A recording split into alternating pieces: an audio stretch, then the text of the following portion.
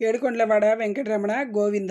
ఏడుకొండల వెంకటేశ్వర స్వామికి ఏడుగురు అక్క చెల్లెలున్నారని మీకు తెలుసా?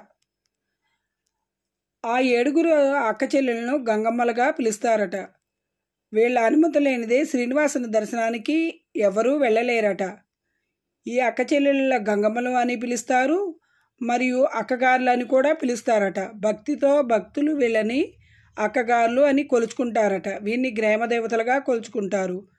ఏడుకొండల వెంకన్న స్వామి ఆ ఏడుకొండలపై అవతరించక మునిపే ఈ ఏడుగురు శక్తి దేవతలుగా అక్కడ కొలువై ఉన్నారట పూజలు అందుకుంటూ ఉన్నారట. గ్రామ దేవతలుగా ఉంటూ వెంకన్న స్వామికి అక్కజల్లెళ్ళు ఎప్పుడు రక్షణగా ఉంటూ ఉంటారనమాట ఏ ఆపద రానికుండా వెంకన్న స్వామికి అక్కజల్లెళ్ళు కాపలాగా ఉంటారు. వెంకన్న స్వామి చెల్లెలకు ప్రతి సంవత్సరం జరిగే వాళ్ళ ఆ కార్యక్రమానికి ఆయన ఏడుకొండల వెంకన్న స్వామి తరపున వాళ్ళకి పశువు కుంకాలు చీరలు జాకెట్లు అన్నీ పంపిస్తాడట వెంకటేశ్వర స్వామి. మొదటి చెల్లెలు తాతయ్య గుంట గంగమ్మ. ఈమె తిరుపతిలో ఉంటుందట. రెండో చెల్లి పాచికల గంగమ్మ. తిరుమల అడవుల్లో పశ్చిమాన ఉందట. ఈమె దట్టమైన అడవుల్లో ఉంది. మూడో చెల్లి పాప వినాశనం బాట దారిలో ఉన్నది.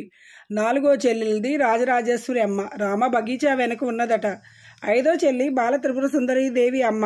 బాలాజీ నగర్లో కొలువై ఉన్నదట. ఆరో చెల్లి ఎల్లమ్మ తల్లి.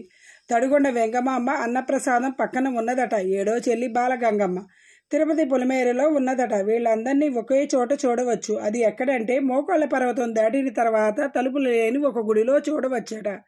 ఈ ఏడుగురు అమ్మవారుల్ని ఒకే చోట చూడవచ్చు. తిరుపతి వెళ్ళినప్పుడు ఈసారైనా మనము ఈ ఏడుగురు అక్క చెల్లెల్ని చూసి వద్దాము. ఏడుకొండల వెంకటేశ్వర స్వామి దర్శనము త్వరగా జరగాలంటే ఈ ఏడుగురు అక్క చెల్లెళ్ళ అనుజ్ఞ అయితేనే మనకు దర్శనం దొరుకుతుందట. నమో ఏడుకొండల వెంకటేశ్వర స్వామికి నమో నమ. Please subscribe Kalyani Srinivas logs please subscribe చేసుకోండి.